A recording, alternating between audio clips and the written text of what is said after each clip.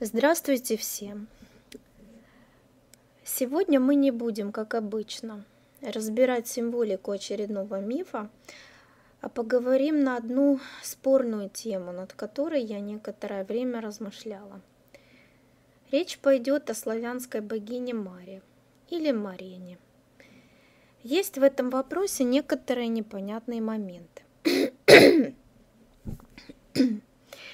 Итак, что нам известно о Маре? Мара – это дочь нашего Творца Сварога, Мара Свароговна, наравне с Лилией и Живой. Казалось бы, светоносное существо, несущее духовные принципы. Однако, в отличие от Лилии и Живы, Мара известна нам прежде всего как богиня смерти и зимы, покоя и сна. Она чародейка и покровительствует волшебству. Первая жена дождь Бога, от которого она, согласно мифам, сбежала с Кощеем. Изучая историю Мары, мы узнаем, что она, живя в светлом Ирии, рядом со своими божественными родителями Сварогом и Ладой, дружила со змеями, приглашала их к себе в гости и пировала с Горынычами. И не только. Далее еще непонятнее – она завладевает волей даже Бога с помощью колдовства или приворотов и женит его на себе. Но, как известно, такая любовь длится недолго. И вот Мара сбегает от мужа не с кем-нибудь, а с Кощеем, с Чернобогом, и становится ему женой.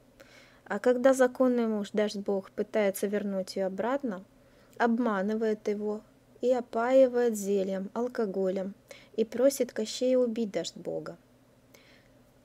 Это один миф.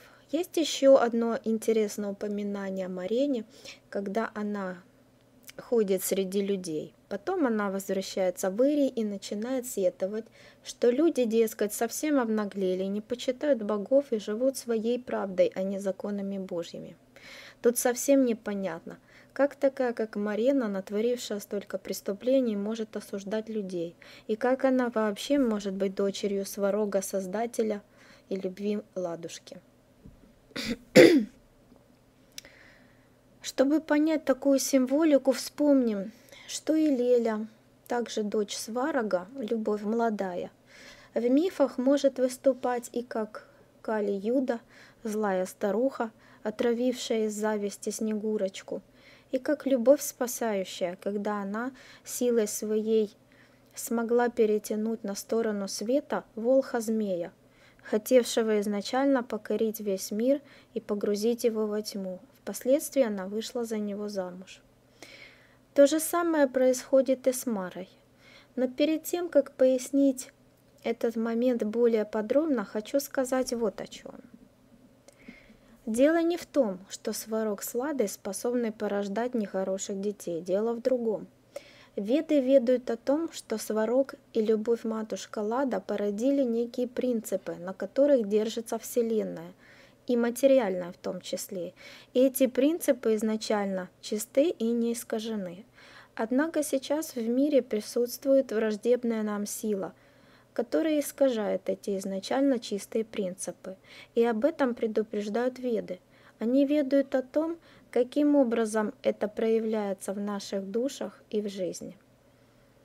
К разным сторонам Лили мы еще вернемся, когда будем разбирать миф о Снегурочке, а у Марине поговорим подробнее. Сначала поясню светлую сторону этой богини или этого принципа – Мара – самая красивая из дочерей Сварога. Ее суть можно сравнить э, с пониманием руны Иса. Это покой, содержащий в себе потенциальную силу. Силу, которая созревает для активных действий. Для того, чтобы создать творение, нужно сначала подумать, созреть для творческого акта. Эти внешние тишина и покой, внутри которых идет работа, переход количества в качество.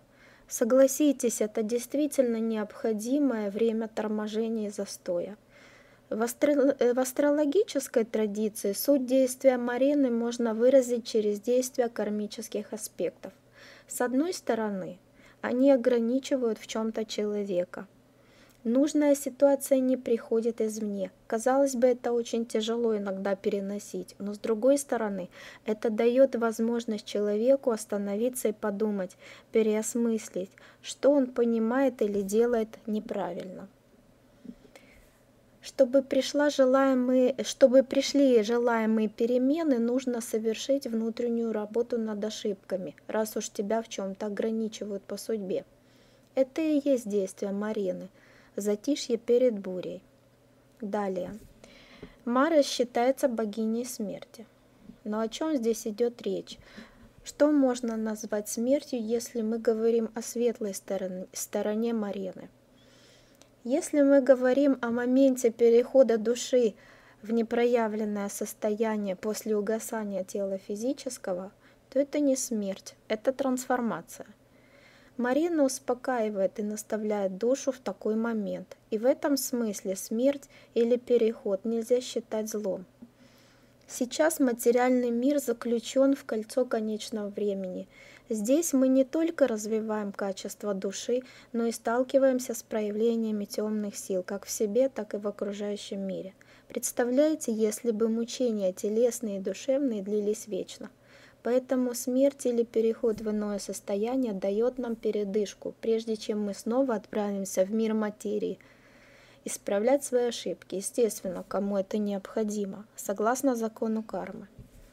Итак, как богиня Великого Перехода, и здесь Марина совершает благое дело, поддерживая душу, не говоря уже о том, что она дарует покой и сон, а значит отдохновение от дел праведных. По этой же аналогии и зимушка-зима является периодом отдыха для природы перед новым цветением и размножением – Марина покровительствует всем философам и людям умственного труда, тем, кто в отдалении от мира постигают его скрытую духовную сторону. Это богиня философии, мудрости, старости, но не дряхления и болезни, а старости – это как мудрость, приобретенная с опытом. Дряхлость и болезни – это порождение не Марены, совсем не Марены. Итак, во внешнем покое Марены заключена огромная потенциальная сила. Переход количества в качество, переход от материального существования к духовному, переосмысление и внутренняя работа, мудрость как результат осознанной душевной работы. А теперь поговорим об обратной стороне медали. Эту сторону я называю не Марена или Мара, а Мора, от слова «морок». Здесь слово «смерть» приобретает свое истинное значение. Это не переход в иную форму существования, а это внутреннее состояние души, когда дух засыпает в обнимку с совестью, и человек напрочь забывает, кто он на самом деле. Он думает, что вся его суть – это только смертное тело. Это и идеология материализма, которой наших родителей любили пичкать марксисты-ленинисты. Это когда деньги и телесные удовольствия добываются любой ценой. Это и есть настоящая смерть или сон разума. Далее, мора от слова морок морочит людей или чародействует. Согласно одному из духовных законов, нельзя нарушать волю человека и лишать его выбора, если он находится в трезвом уме и крепкой памяти – Применяя силу стихийных духов с целью воздействия на психику человека для достижения своих эгоистических желаний, мы нарушаем этот закон. Силу стихийных духов можно использовать только во благо. По рассказам многих людей, любовь присушенная, то есть добытая с помощью присушек, отсушек и так далее. В частности, не настоящая, она длится недолго, да еще приносит самому человеку, ее применившему, осквернение. Вот о какой смерти ведают веды через образ Моры.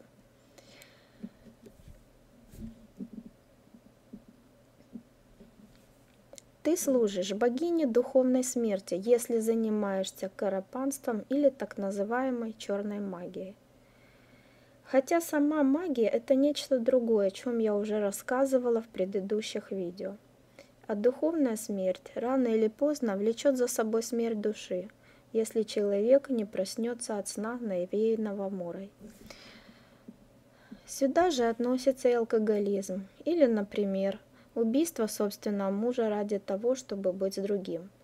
Можно же просто поговорить и отпустить.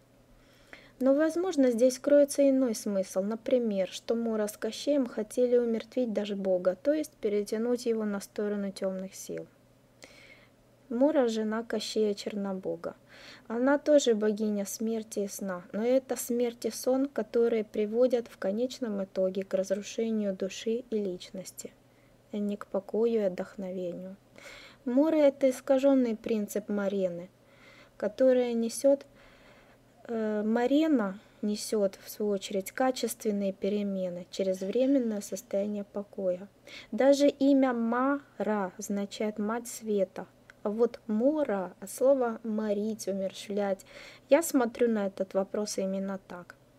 И веды показывают нам, как такое может произойти с нами, с нашими душами. И какому пути нужно следовать, чтобы тебя не заморочили. Итак, почитайте не Мору, а Мару, богиню преображения и мудрости.